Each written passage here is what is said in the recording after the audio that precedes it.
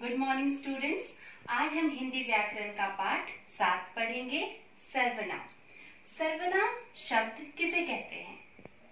नाम की जगह जो शब्द आए। नाम की जगह का अर्थ क्या है?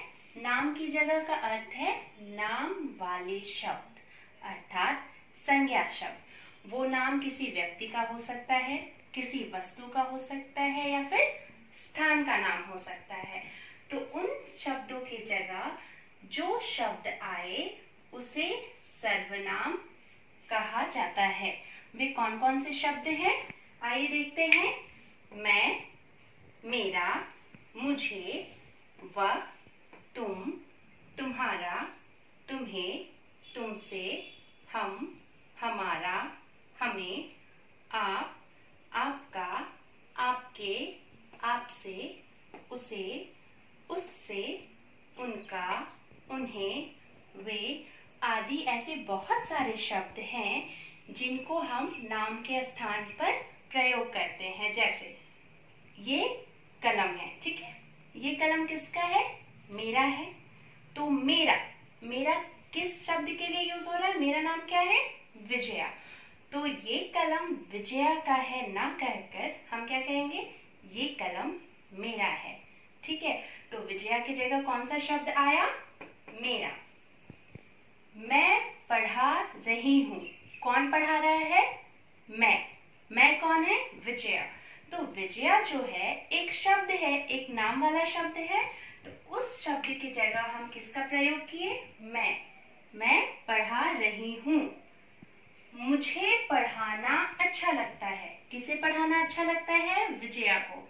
ठीक है? अगर आप बोलोगे तो मुझे खेलना अच्छा लगता है।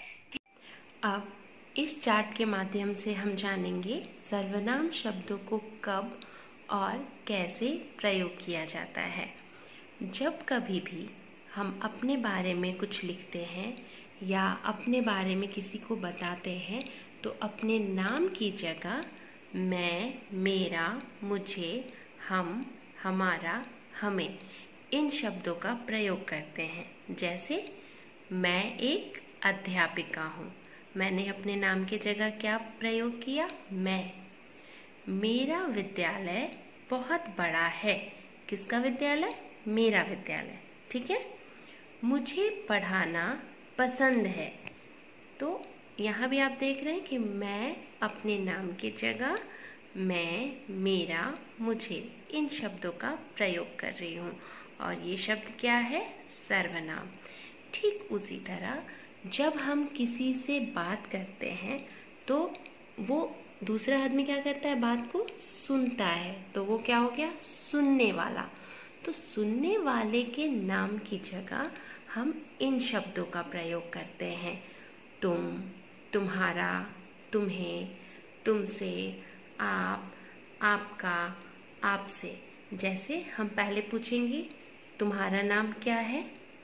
ठीक है? तुम्हारा। तुम अच्छे लड़के हो। मतलब हम किसी को बता रहे हैं, किसको जो मेरी बात सुन रहा है।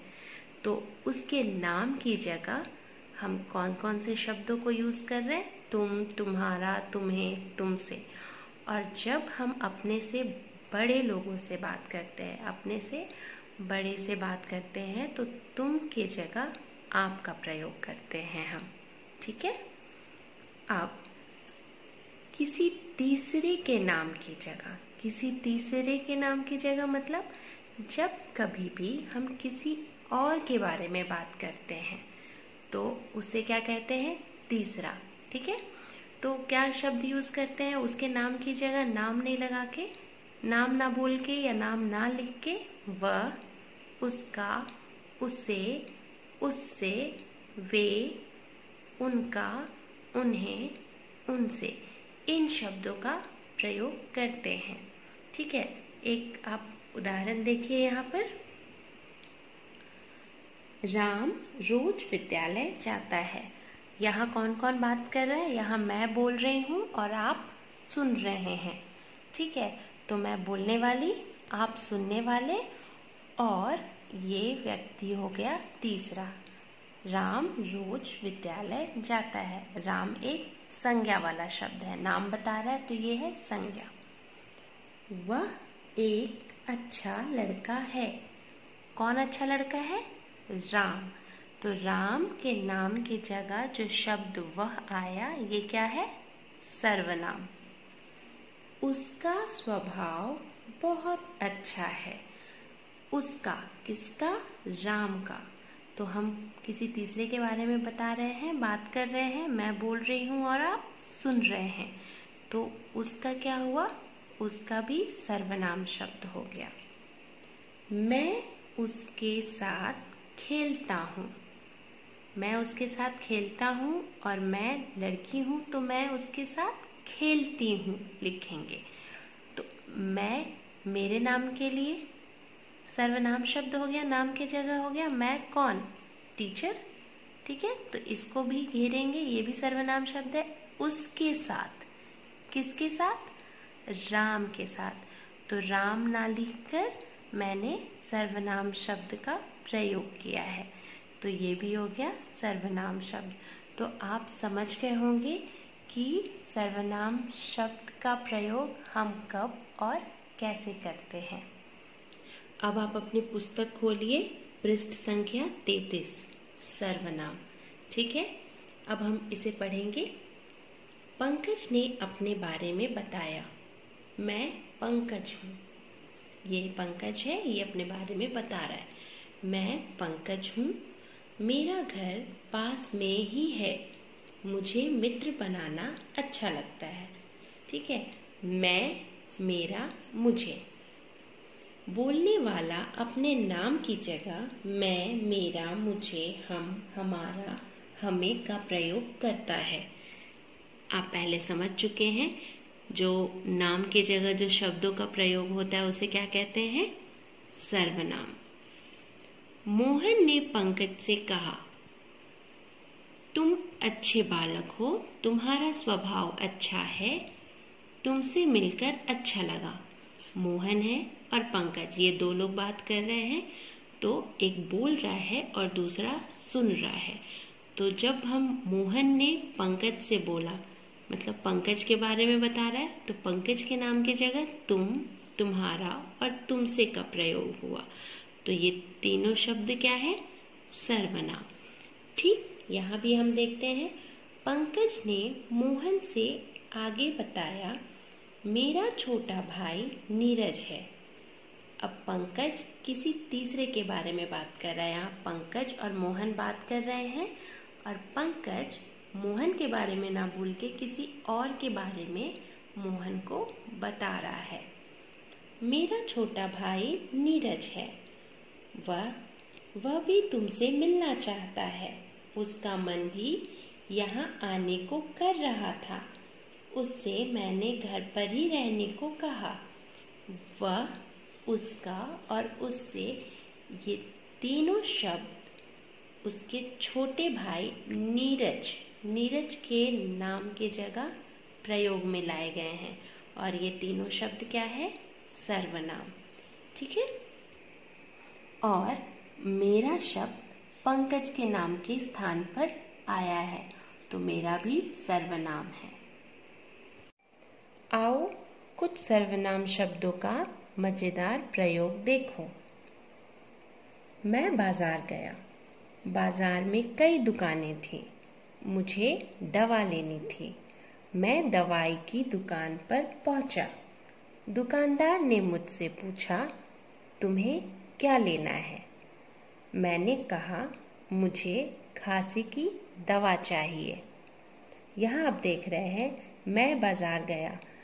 ये बच्चा बता रहा है कि ये बाज़ार गया। तो ये अपने ना, ये अपना नाम नहीं बताया? ये नाम की जगह क्या प्रयोग किया? मैं। मैं बाज़ार गया। बाज़ार में कई दुकानें थी। मुझे। मुझे किसे?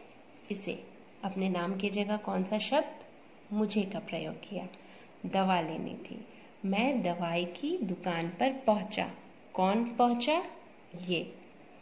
दुकानदार ने मुझसे पूछा किससे पूछा? मुझसे। इससे। तुम्हें क्या लेना है? अब दुकानदार जब इससे बात कर रहा है तो दुकानदार बोलने वाला और ये सुनने वाला। तो इसके लिए प्रयोग क्या हुआ है? तुम्हें। मैंने कहा, मुझे खांसी की दवा चाहिए।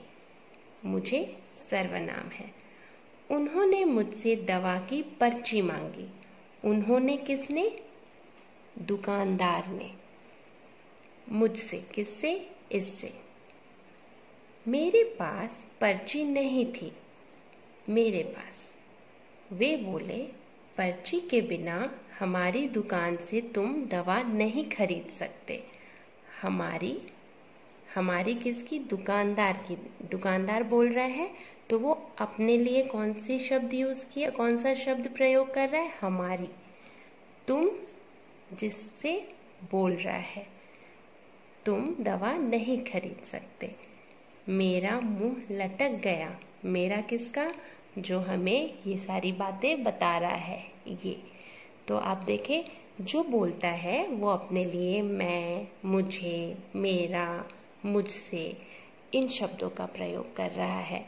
और जो अभ्यास कार्य, बोलने की बारी।